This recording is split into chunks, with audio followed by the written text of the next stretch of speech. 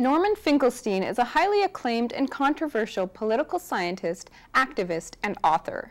His primary works have focused on the Israeli-Palestinian conflict and the politics of the Holocaust. We spoke with him at his apartment, where he shared his thoughts on Gandhi and the Occupy movement. For Gandhi, the challenge was not to bring enlightenment about injustice in the world. People already know the injustices.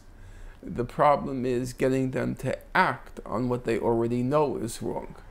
And the purpose of politics, in particular non-violent civil disobedience for Gandhi, was that it was supposed to act as a stimulant uh, to goad people, goad the uh, indignant but still passive bystanders to goad them into action, to get them to do something about what they already know is wrong. And in that respect, the Occupy movement was, in my ways, almost the quintessence of what Gandhi had in mind. First of all, the slogan that captioned, captured the imagination of masses of people, uh, we are the 99%. Uh, well, you didn't have to enlighten people about the injustices of the capitalist system, even though they didn't call it the capitalist system, but you didn't have to enlighten them about the injustices of the system. Uh, there was a, a, a, very widespread, a pervasive opinion, especially in the last 10 years, that there's something profoundly wrong with this system, that there's a handful of people who are raking in lots and lots of money, and then there are masses of people who are um, uh, not only not doing well, but doing worse than ever before.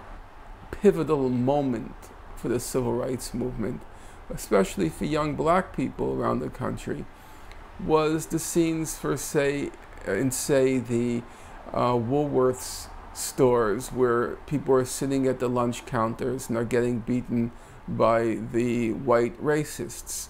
And a lot of young black people saw those scenes and they said, you know, I've been saying the same thing as these people. Now it's time to go beyond talk the talk and walk the walk. I belong there with them. And I'm living in Brooklyn, New York, and I hear about the Occupy Wall Street, and these young folks are sitting in this place called Zucchini Park or something. I didn't know what the hell they were talking about. Uh, uh, so I'm thinking to myself, well, that's terrific, but you know, I'm heading towards 60. It, uh, my Woodstock days are behind me. I'm not going to go camping out anywhere at this point in my life. It's unseemly for me at my age, and it'll be embarrassing for the young people on their side.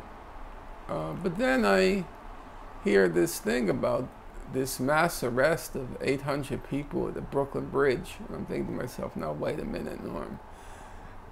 This is the Brooklyn Bridge, 800 people are getting arrested and you're doing nothing? No, it's time to walk the walk. Enough talk the talk.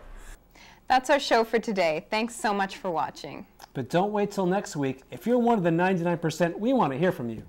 Get involved by contacting the email address or the phone number on your screen. Tell us what you think of the show, what you'd like us to do different, how you'd like to help out. We want to hear from you. This occupation needs your participation.